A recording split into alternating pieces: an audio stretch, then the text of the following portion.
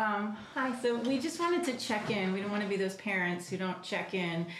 Um, Did you show her the chart? no, no, she doesn't need to see the Oh, she gotta see the Um, chart. the thing that we're having a problem. You gotta with- see this chart. Okay? No, seriously, the color coding alone, this thing is a Yeah, work of art. part's a joke. Museums would hang Chart. this. It's a lovely chart. So the thing that um, Tell her about the, I um, am. That's what I'm trying to do right now.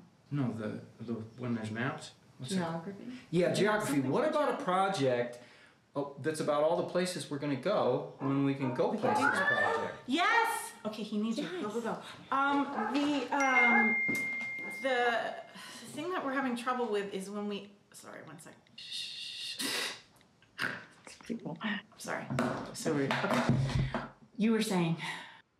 Okay, so this is not fifth grade math. It's fifth grade math. No, this cannot be fifth grade math. This is harder than what I did in high school. My school. husband's smart, but just more street than school. You know what? Actually, now that I have you both, actually, I've been noticing Ben's homework is starting to. Um, What's more What? ebb than flow? Come on, Ben, it's time. yes, it's more ebb.